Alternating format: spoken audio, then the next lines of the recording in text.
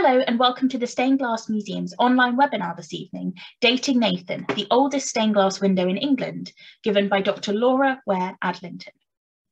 Last summer, stained glass made headline news as the scientific research confirmed that the four figures of the Ancestor series at Canterbury Cathedral predated the 1174 fire, as first argued by stained glass historian Madeline Caviness in 1987. Dr. Adlington was one of the leading scientists involved in this research, which made use of a few well-measured heavy trace elements and a 3D printed attachment for a PXRF spectrometer that facilitated in situ analysis of the glass. This led to the conclusion that the glass actually dated from circa 1130 to 60 and is therefore some of amongst the oldest glass in the UK. Laura's talk will introduce these techniques and the findings of this research recently published in a paper co-authored with Professor Ian Freestone and Leonie Seliger. Scientific research will be explained and placed in the context of what we know about Canterbury Cathedral and its extensive medieval glazing schemes, revealing exciting possibilities for the future analysis of medieval glass. Laura is a material scientist who specialises in the use of elemental analysis to study historic and archaeological materials, particularly glass. She's currently the technical specialist for stain optics in North Wales, Pennsylvania. She completed her PhD in archaeological material science at the UCL Institute of Archaeology in 2019, after which she worked as a postdoctoral research scientist at the National Centre of Scientific Research in France.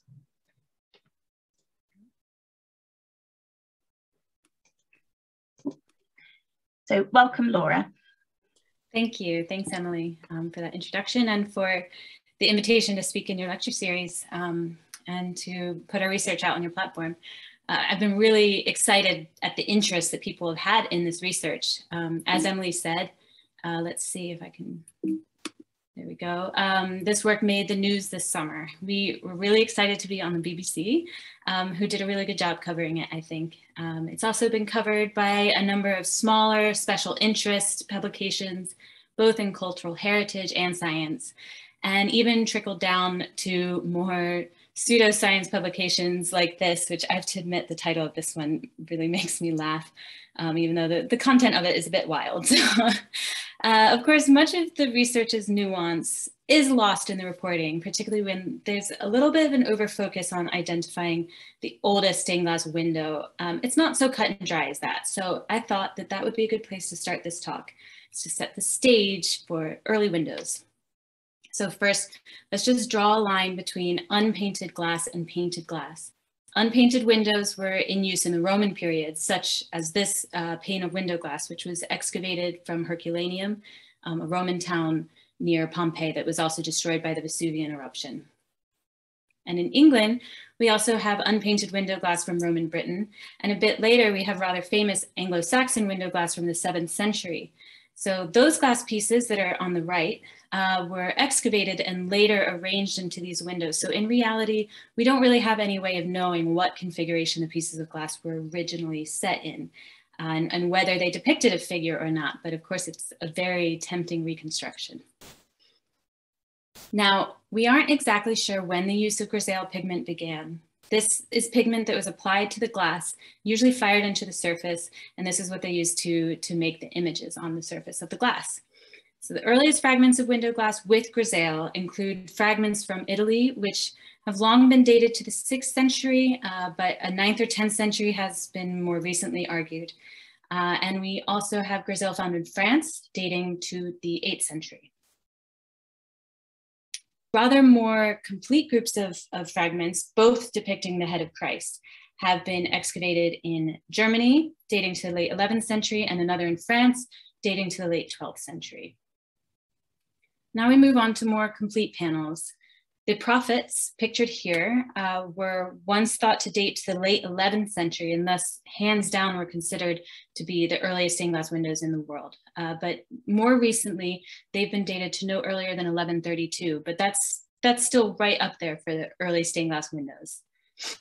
Some panels from France may be slightly earlier than the prophets. They're from the 1120s or thereabouts, including the panel pictured here.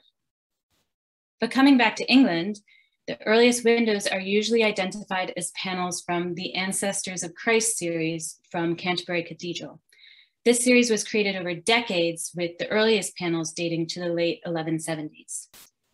However, in the 1980s, as Emily told you, art historian professor Madeline Caviness made a case for the earlier origin of some of the figures within the series. So she suggested that they predated the rest of the series and were later incorporated into this Gothic glazing, glazing scheme. So her suggested date range for these panels is 1130 to 1160. So the aim of this research that we're going to talk about today was to test her hypothesis with chemical analysis. So here is our lineup for tonight. I'm hoping that there's a little something here for everyone. Um, we're gonna have some science, some history, and some art.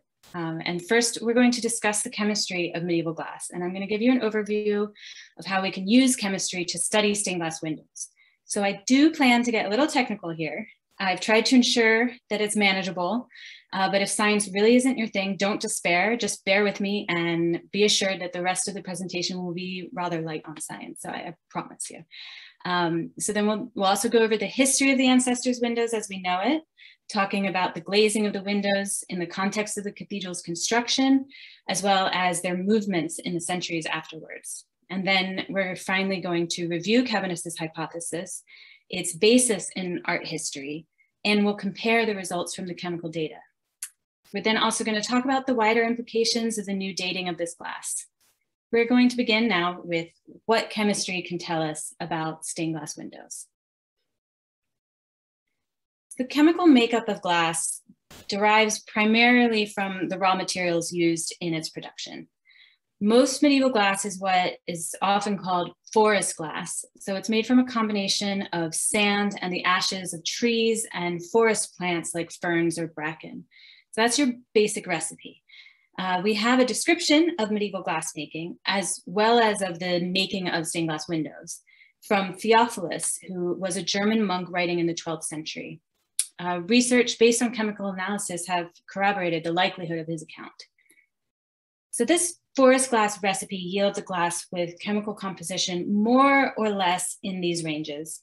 And as you can see, there's quite a lot of variability in the chemical composition of medieval forest glass. Generally speaking, compared to other glass types in history, forest glass has relatively low concentrations of silica and high concentrations of potash and lime. Are also significant portions of magnesia, phosphate, soda, alumina, manganese oxide, and iron oxides, as well as various other oxides, and there are also many trace elements not listed here. Theophilus also describes making different colors of glass. So although the term stained glass might seem to imply that the color is applied to the surface, the glass is actually colored throughout, except for um, special techniques such as silver stain, as you can see on this person's hair up here in the top left corner. That's silver stain. Um, so there's a couple of ways that they colored glass. One is by adding an extra ingredient. For example, adding a bit of cobalt to make blue. Another is to manipulate the furnace conditions um, by creating either an oxidizing or a reducing atmosphere. And this changes the oxidation state of the compounds in the glass, particularly those of manganese and iron. So this can create a range of colors, including green, blue, yellow, brown, um, purple, and pink. And I may have left something out. Then we also have flash glass, most frequently seen in the creation of red glass, but it can be used to make other colors too. So this involves dipping the glass blowpipe into two different pots of molten glass, um, two different colors, and blowing them together in order to create different layers on the glass. And in this case, it's a colorless and a red. And these are just two examples and we're looking at them in cross section. So chemistry can help us understand a lot about stained glass, um, particularly related to technology and production. So topics include different recipes and coloring technologies used, furnace conditions and recycling. We can also look into the provenance of the glass or sourcing the raw materials used in their production. And when we look at windows, uh, we can endeavor to identify original versus infill glass pieces, Um, and it's also useful for understanding the deterioration of glass, which we'll actually get into a bit more later on. But how do we go about dating the glass? Well, generally, the way to do this is through building up a chronology of chemical compositions to which you can then compare your sample. For example, post-medieval glass in England has been thoroughly characterized and related to developments in glassmaking technology through time so that these chemical characteristics can allow us to date glass. Depending on the size of your screen, this might be a little bit hard to see, but this is essentially a flow chart uh, made by David Dungworth, who developed this chemical chronology. So the first step is how much phosphorus is there? If there's more than about 0.3% phosphate, then you've got a plant ash glass. And you can follow this flow chart until you've identified the period of manufacture of your sample. Unfortunately for the medieval period, we don't have anything quite this cut and dried. But in England, we do have an interesting situation in that all of the colored glass you see in medieval windows was imported from Europe, as colored glass wasn't made in England until at least the middle of the 15th century. So we know this because there's no archaeological evidence for the production of colored glass at English kiln sites. And also there is a patent that was granted in 1449 to a Flemish glassmaker. And in the patent, it states that the art of making colored window glass was not yet practiced in England.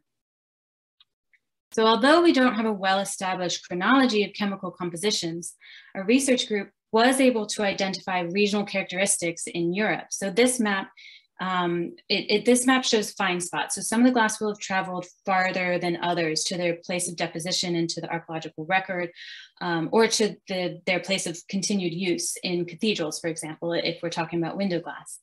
But there are um, chemical characteristics that are centered around known regions of major glass production during the medieval period. Namely, we have Normandy, the Rhenish region, and Bohemia. So this map shows that glass found in Northwest France, close to production in Normandy, is characterized by higher concentrations of magnesia and lower concentrations of lime, while in uh, Bohemian glass is characterized by lower phosphate and silica than the other regions. So why do we why do we even have these characteristics? Um, there are a number of factors that contribute to that, but they'll include um, the local geography, which affects the chemical composition of the plants growing there. Um, and then those plants are ultimately ashed for use in the glass as well as regional variation in the availability of species of, of different plants, um, as well as local technological traditions. Uh, but what that means for us in England is that when we detect different chemical groups, they're likely related to different sources or suppliers. Because remember, our colored glass, at least, is imported from Europe. So we, we can use this knowledge on a localized scale by identifying sources of glass used at a single cathedral during different periods of time. So of course, identifying multiple sources can indicate that glass painters were using more than one source of glass at a single time. But if uh, the, you know, the different glass recipes can be related to different dates at a site, then they can be used to date other glazing works. So um, it, it's the same approach in a sense as we use for post-medieval glass in, in that flow chart that I showed you, but it's just on a local scale instead. So we are going to apply this in, in this research by identifying different suppliers of glass, relating these to different periods of glazing, and using that to provide rough dates for panels. However, um, we have some other issues to sort out first. Normally, we would want to remove samples for this kind of work. So here on this slide are pictures of a couple sample blocks uh, whereby small samples have been removed from window glass pieces, embedded in epoxy resin with the cross section exposed. And then that block is sanded and polished to a very fine grade and, and then it's ready for analysis. So this is just one method of sample preparation. Um, another involves acid digestion, for example, in which the sample is totally dissolved, but samples are usually necessary. But windows present a uniquely difficult situation in that they can't be sampled without dismantling the entire window. Um, and that is expensive and laborious, and it just doesn't happen very often. So we need a technique that can be used in situ. So hello, handheld or portable X-ray fluorescence spectrometry, or PXRF. um, which PXRF can be used directly on the surface of objects to measure elemental composition. It's popular in archaeology and cultural heritage uh, because you don't need to sample an object invasively for results. So it's used in museums and on site on archaeological digs, as well as in laboratory settings um, where stakeholders are reluctant to sample fine art or delicate objects, for example. Um, however, depending on the material you intend to analyze, there can be some substantial obstacles to using PXRF. In the case of medieval stained glass, there are two primary obstacles. The first is this, the surface conditions of the glass, which is mostly deterioration. And then the other is uh, are the lead cames, which are those strips of lead that hold the pieces of glass together in the panel. These obstacles, which I will describe in more detail, can simply prevent good measurements so that any data collected is actually meaningless or, or useless, really. So we set out to address these problems and develop a viable methodology for stained glass windows. So to do this, we really needed samples and we needed a lot of them. Um, and this, this was made possible with the help and support of the York Glazers Trust and the Dean and Chapter of York through collaborative research um, carried out at York Minster on the Great East Window, uh, which is pictured here. So the window had been dismantled for conservation and we were able to take hundreds of samples from across the window so that we could analyze them with various techniques of lab analysis, as well as analyze the glass with PXRF and, and compare them to see how they measure up. So for much of the work, we're able to analyze disassembled windows, as you can see us um, looking at this panel here. So what have we here? On the left, um, we've analyzed glass standards with PXRF. So standards are are uh, modern made glasses, usually made in a lab environment um, with well characterized and often certified compositions. So we know exactly what they're made out of. Um, we use them to test or verify our chemical analyses to see if our methods are accurate and precise. So in this graph, the PXRF measurements have a linear relationship with the known concentrations of the standards. And that is exactly what we want to see.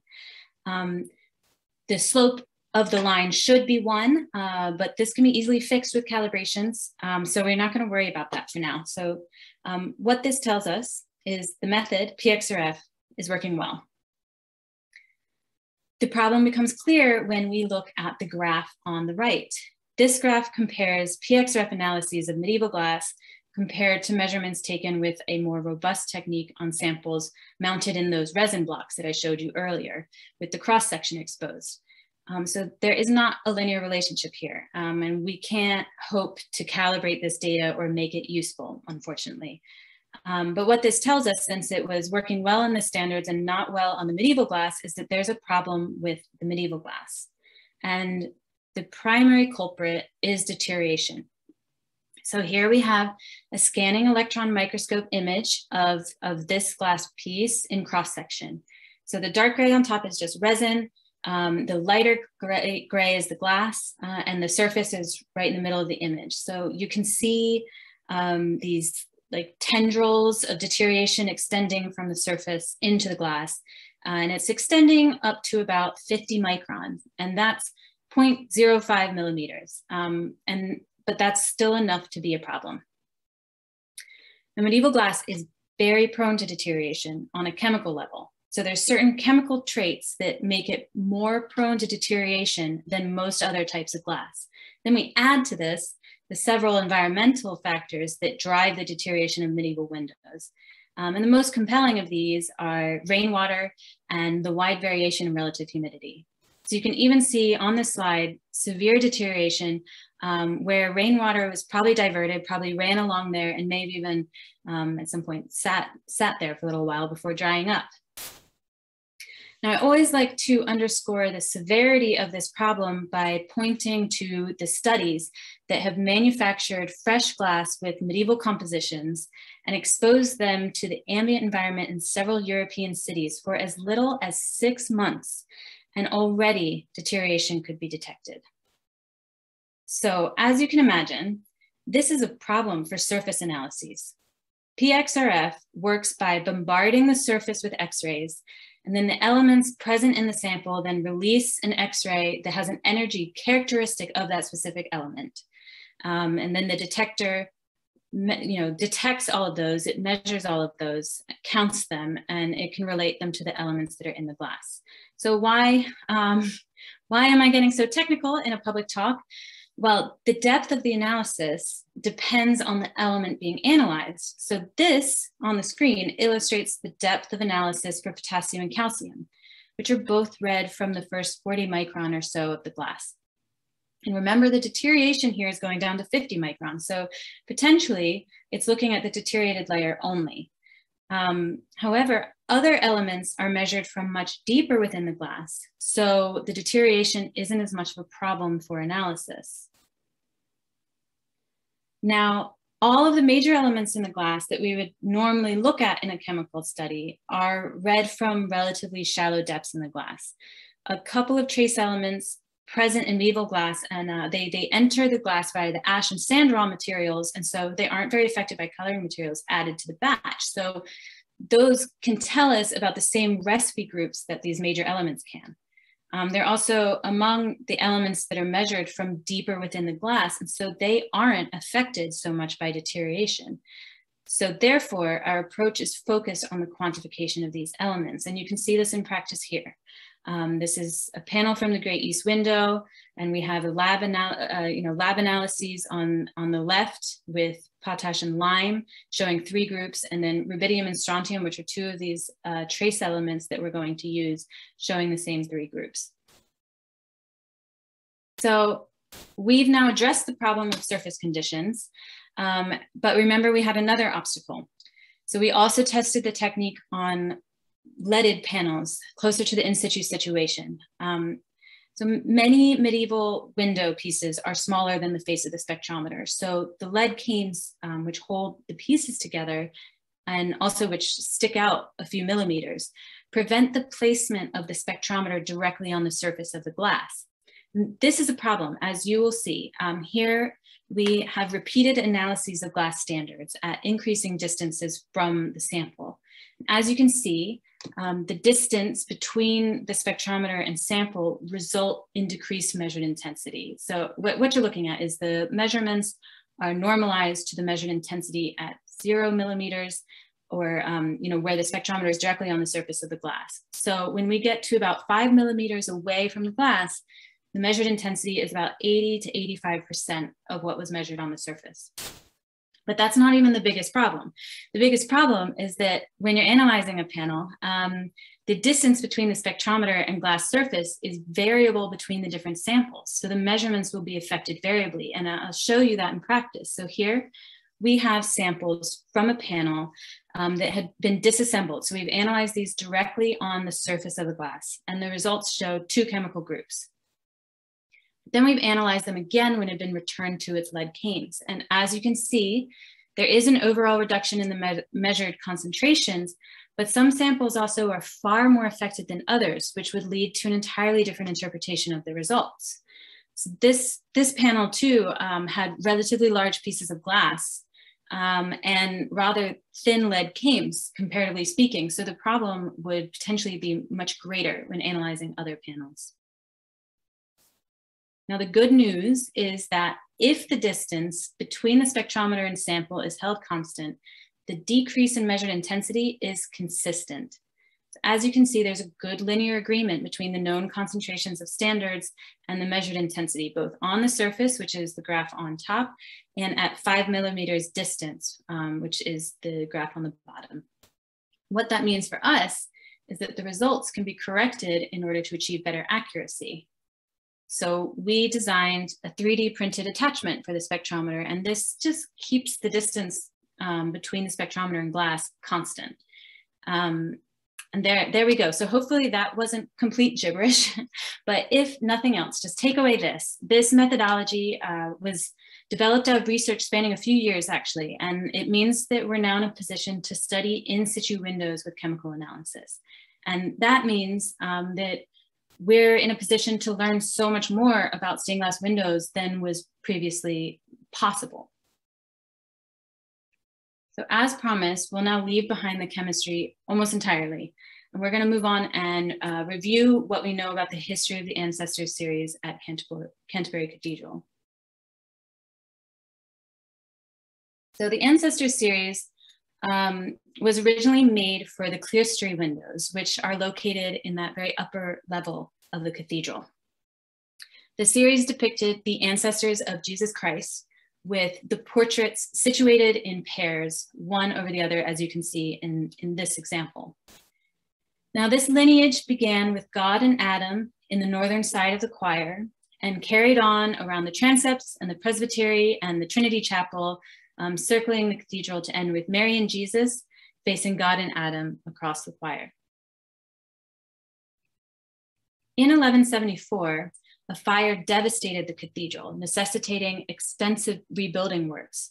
We have a contemporary written account which um, describes the fire and the subsequent construction. So it's really useful for us. And we also have Madeline Caviness, who came up with a detailed timeline for the glazing of the ancestors in relation to the construction works um, through examination of the glazing, the stonework, and written sources. So construction began in 1176 and the windows of the choir were glazed, keeping pace with construction, taking advantage of the scaffolding already in place.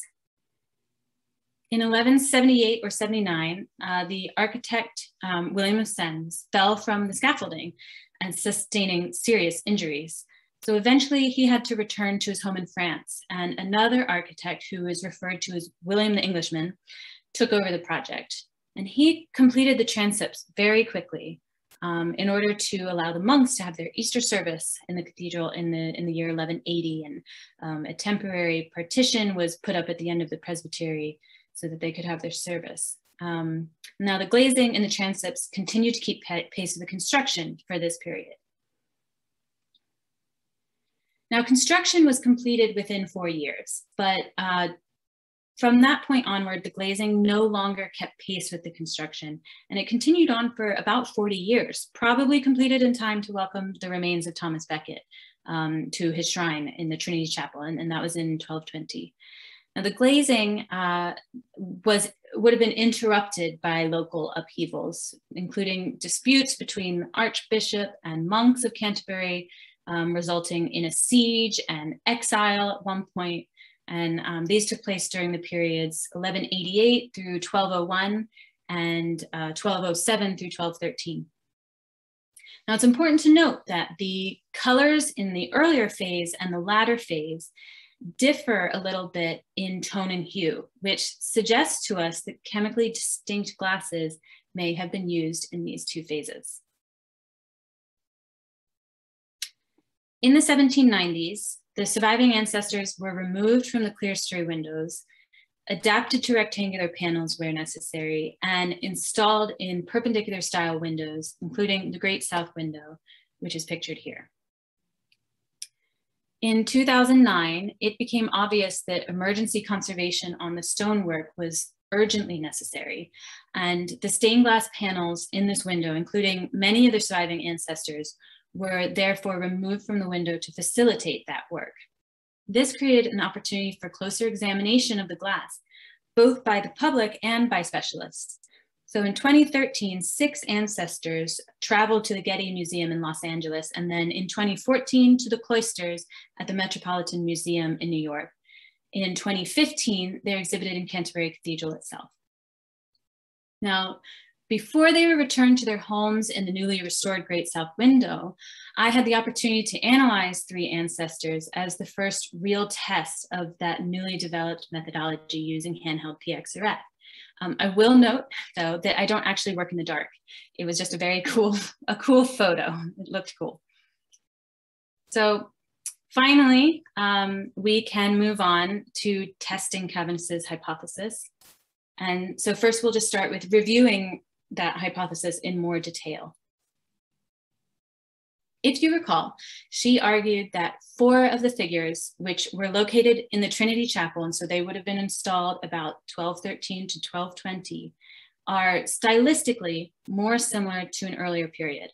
And one of these, as you've probably guessed, is Nathan, who is the subject of our paper. Um, and I really recommend that you read Caviness's paper for the full analysis. It's such a pleasure to read.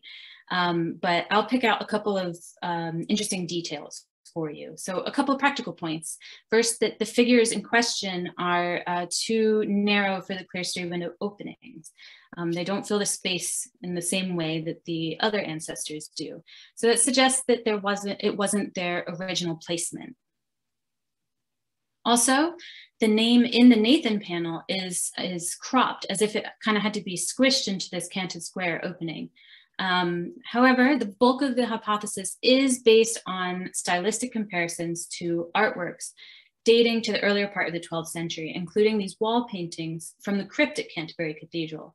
Um, and they were uncovered in the 19th century, um, unfortunately deteriorated really quite rapidly after that. So examination is now mostly confined to early photographs and drawings. Now, these wall paintings are dated to about 1130 to 1160, and then they were boarded up around 11, uh, 1178. Caviness points out several details in common, and again, I urge you to go read that paper. Um, but one thing in particular is the style of the drapery, which has an appearance of stiffness and defies gravity and is overall more Romanesque in style. And unlike the early 13th century Gothic glazing of, of the rest of the figures. Um, so if Nathan did survive the fire of 1174, Caviness suggests a date of 1130 to 1160, which is based on the date of the wall paintings.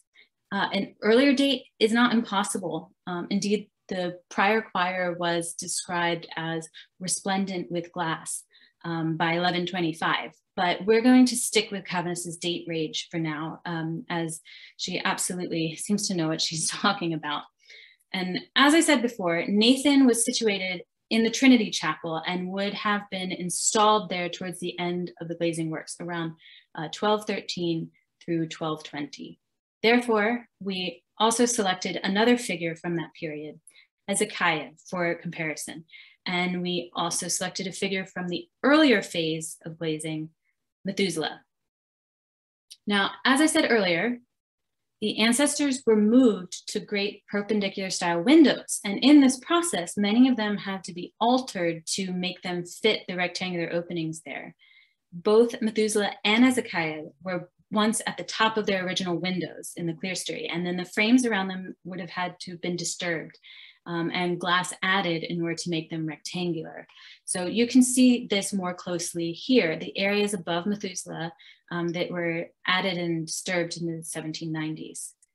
So we're only going to consider the figures themselves when we characterize the glass in use during these phases of glazing.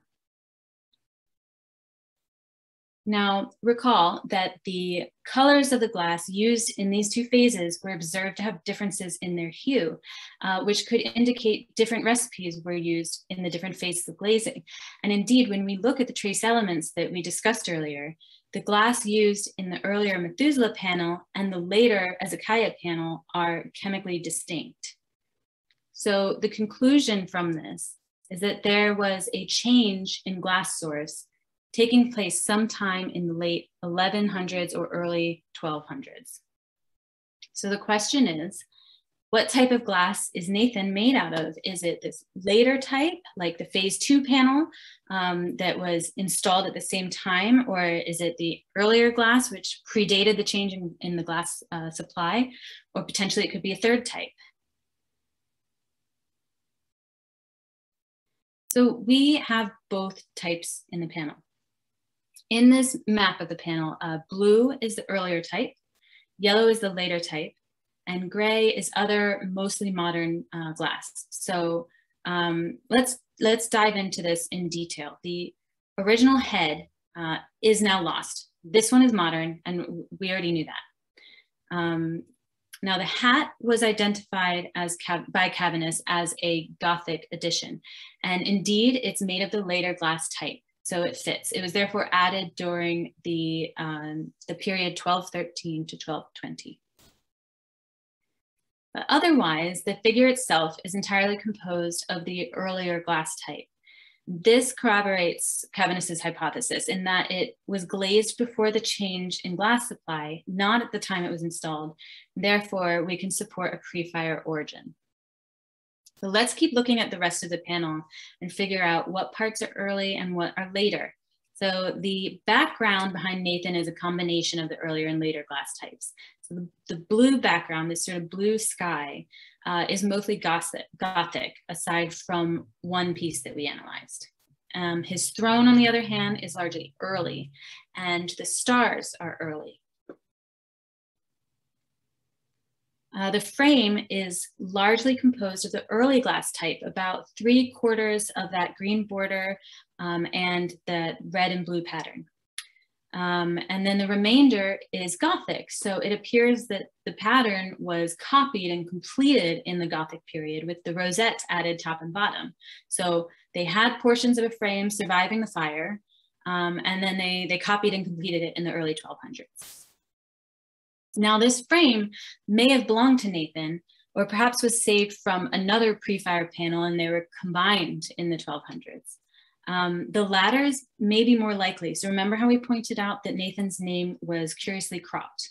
Um, so that brings up um, an interesting question, which is whether the banner bearing his name was also Romanesque. Um, if so, that points to an ancestor's subject matter in the pre-fire glazing scheme, and that would be quite exciting to discover.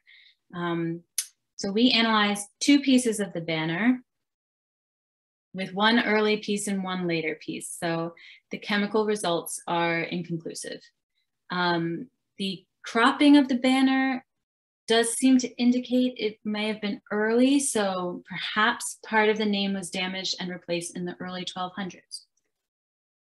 But overall, it appears Caviness was very likely correct. Um, and, and this figure originates before that fire. And this invites us to ask why why was it um, used in this in this ancestors series? Well, one explanation is that this was a time and resource saving tactic in a period of great upheaval. Remember, I mentioned there was a siege and an exile taking place during that period of time.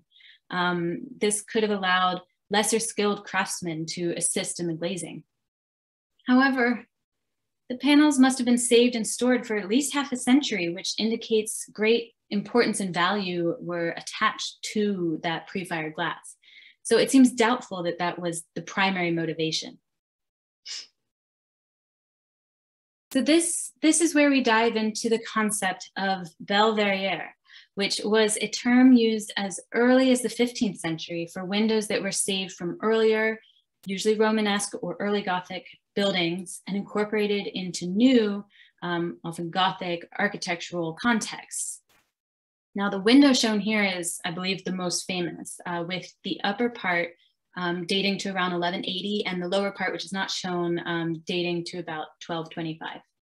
Uh, and there's a very interesting paper by Mary Shepard uh, diving into the role and meaning of such windows. So in addition to their original iconographic meaning, um, as in here the Virgin Mary, uh, these windows would take on further meaning and significance as reminders of and um, as tangible links to the history and longevity of the building. They signaled the building's own lineage and the unbroken succession of the church. And unlike the act of recycling, which is arguably a mostly utilitarian action, the original artistry and imagery is maintained in these works of art. The importance of these Belle Verrières is highlighted by the window shown here, which in the 19th century was thought to be a Romanesque Belle but is now thought to be Gothic glazing mimicking Romanesque style, as if to claim that older origin and fulfill that role served by Belle elsewhere. Um, and and this, this underlines the importance of that role. So within this context, it seems more likely than not that the subject matter, matter of that pre-fire, um, of those pre-fire panels was preserved. Um, but we have, we have more information. Um, we have the testimony of Gervase, who writes about the fire and the rebuilding. So he documents the efforts to fight the fire and to save ornaments within, and also the wailing and howling of the grieving monks uh, afterwards. And then he writes of the monks summoning several French and English craftsmen to give their opinions on the degree to which the building might be saved, because preservation was their core objective and appears to have been the original aim of the construction as far as we can tell. It has also been argued elsewhere by, um, by Sandy Heslop that the lower windows of the choir, the um, typological windows as they're called, are close recreations of that pre-fire glazing scheme. Um, and altogether, the evidence really seems to point to not only the pre-fire origin of the Nathan panel and, and possibly the others identified by Caviness, uh, but that the choir um, that was destroyed by fire, which was described by Gervase as the glorious choir, not only contained these figures, but also an ancestor's subject matter and um, a subject matter that was then carried over into the next iteration of the cathedral. All of this together gives us greater insight into that pre-fire choir. Uh, it gives us this vivid glimpse into the past, which I must say is very exciting for anyone working in a historical field. Um, so in closing, I would just remind you that um, there's this other exciting takeaway from this work is the successful application of the in situ methodology, because this will open up many more possibilities for research, um, for discovering more about this beautiful and unique art form and craft. So on behalf of myself and my colleagues, uh, we'd like to thank the institutions on this slide for funding and other support. And thank you also to the Stained Glass Museum. Um, and of course, all of you for your attention. Um, this research is published and is available open access. I've included the, the DOI on the screen. Um, and I look forward to your questions. Thank you. Thank you, Laura. I'm sure we're all virtually applauding. Uh, I know it's it's not the same when you can't hear it in the room, but I am sure across all corners of the of the world that are joining this evening, everyone is is clapping and thanking you for such an interesting talk. um, I would remind everyone of the uh, the Q&A function, which is along the bottom if you are um, on a laptop or a computer, and if you're on a tablet or, an, or a phone or anything like that, it's along the top, and you can pop your questions in there for Laura. Uh, I will kick off with the first question, if I may. Um, you talked about the sources of the glass um, and how you were able to identify the kind of geographic uh, locations. I wondered if there are, like, are you able to specify, like, be, be more specific than that and, and suggest that glass is coming from a very particular studio or maker, or is it too um, too varied for to identify particular uh, people or studios? Um, that's a that's a really good question. Um, so it's not it's it's not going to be um, the glass painters that you're identifying when you're looking at the chemistry, but the glass makers. And um, and at the moment, these seems to be pretty broad regions uh, that we're identifying. So um, we only completed this work a couple that that work a couple years ago, um, and it it might be possible to dig down a little deeper. Um, definitely, it is possible to kind of identify batches of glass um, when you're looking within a constrained context. Um, and so that could be one way that you might start to identify that. But again, that'll have more, oops, sorry, more to do with um, the glass makers than the glass painters who are making the windows. Um, and yeah, maybe someday. Do you think those those concentrations would be um, geographic concentrations, i.e., lots of small studios working in a particular region of Germany, for example, or would it be sort of more general um, that it's like a whole a whole region rather than a more specific kind of um, towns, for example? Do you mean like are they independent workshops or kind of like yeah, I guess workshops? yeah, yeah. Okay, um, yeah. The, I mean, that would be hard to tell from the chemistry. Mm-hmm. Um, and my understanding is that there's going to be something a little bit in between um, that there's going to be a little bit of a sort of guild situation that might handle um, sourcing. For example, cobalt is only found in a few places at that time. Um, so, you know, they'd probably all be using the same cobalt ore, but whether, um, you know, how closely they're working together, different workshops, we don't know. Some people like to think that maybe different workshops specialized in different colors. Mm-hmm. Um, and you know, the degree to which that is true is difficult to say at the moment, um, especially if they're like working right next door to each other. so uh, that's hard to say. In, in later in later times, um, in the early post medieval, uh, you do see some areas, especially um, focusing on making colorless glass because the Normandy region became quite well known for making really excellent colorless glass. But the degree to which that's true of the medieval period is a little harder to say. Thank you. So I will head to our Q&A. Uh, a question from Nicola. She asked if there is anything known about the glass painters. Were the windows made in Canterbury, London, France, Germany, etc.?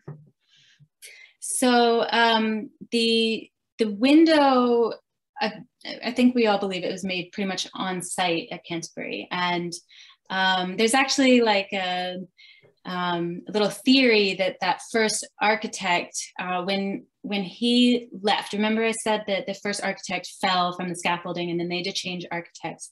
There's also a change in the style of the painting. Um, and Caviness talks about this in her papers. It's really interesting. Um, so there's a, a, change at that, at that same time when he would have left um, that the glass painting also changes. So what that says to us is either the glass painter left with him or he was also the glass painter, um, which would be really cool. We really, we can't prove that, um, but it's fun to think of it. Uh, and that collection of glazing is um, attributed to the Methuselah master because um, they're, they're, just really beautiful uh, works of art. But I think especially just, sorry, circling back to your actual question, um, that especially since uh, that first period, the, the glazing was um, keeping pace with the construction of the building, I would say it was very likely made right there in Canterbury. And I'm just checking the chat to see if we have any other questions there. Ah, we have another one come through from Rachel. She asks, does the conservation of the glass surface affect the analysis or is it affected in this case because of the trace elements you tested were deeper? That's a great question. So um, basically, yes, it, it must affect the analysis because it's still analyzing that layer. It's just analyzing so much more. So it's not, um, what it's doing is when it analyzes just a little bit, it's analyzing all of this. And when it analyzes deeper, it's analyzing all of this, um, if that makes sense. So it's not just like going down to here, analyzing this point and then coming back, if, if that makes sense. Um, so yes, it must affect it, but um, the the vast majority of the uh, feedback that it's getting from the sample is going to be from that pristine glass. And in practice, it doesn't seem to affect affect the um, analysis, the results. And there was a, another question from Joe who asked, was the glass blown and then flattened? Is it ridged as a result? Um, that's a good question. Um, I, I yeah, because we couldn't really see anything in the edges. Um, I didn't see any like moil marks or anything like that.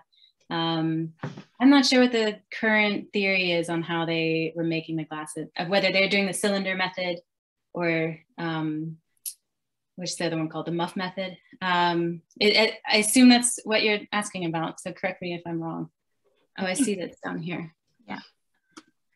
I think that's um, yeah. I mean, they're like really really quite good at it. I've, I've, never been able to really detect very heavy lines like you see on pub doors or whatever. Um, so I'm not, I'm not entirely sure which way. Lovely. Uh, we have another one from Alexis who asks, uh, who says, uh, your correlation showed no wild outliers. Does that mean it was not recycled? Um, so we normally to detect recycled glass, um, there's some other elements that we'd want to look at, and we didn't get any major elements for this class. Uh, you, so, um, no, I mean, I, I can't really say if it was recycled, but I don't think it was. I, I think they bought fresh glass, and um, and it, it would, yeah. That answers your question. I think that was all of the questions we have had this evening. Um, but just before we conclude, if anyone has any last minute ones, you could pop those in the chat now. But I was just going to, um, I wonder if it will let me share. Uh, doo -doo -doo. This, um, which is, too many windows. Uh,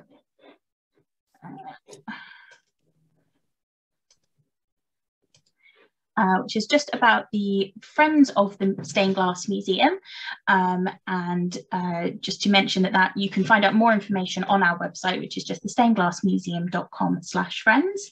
Uh, with that, you it's a, obviously a wonderful support of the museum, but you also get lots of benefits uh, by joining as a friend, including discounted tickets for our lectures and workshops and things like that, such as this this evening, um, and also a biannual uh, newsletter, which gives you more information about behind the scenes at the museum. So you can find find out more on our website.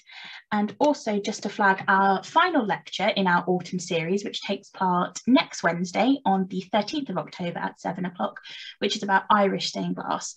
Um, and again, you can find more information um, about that on our website um, and get tickets and things there as well. So if nobody else has any further questions for Laura, which let me see if it will let me go back. I don't think it will, but um, I'm sure you will all join us in thanking Laura again for her excellent talk this evening. And uh, we will all give a final round of applause. Um, just check, I think we have, oh, sorry, there is one more question if you don't mind, Laura, before we go. Um, somebody, uh, Alexis again asked, what's the effect of there being paint under analysis?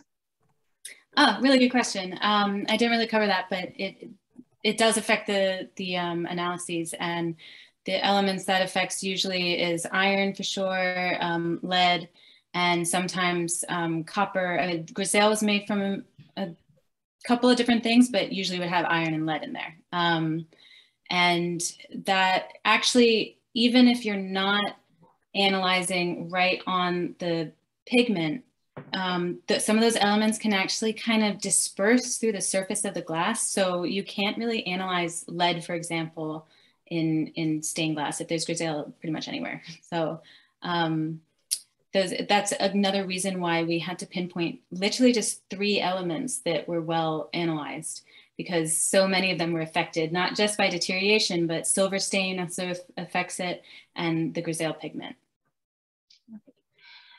thank you again and thank you to everybody uh, for asking their questions this evening to Laura and I'm sure you will all join us in a final round of applause for Laura and we hope to see um, some of you at our lecture again next week. Thank you very much. Bye bye.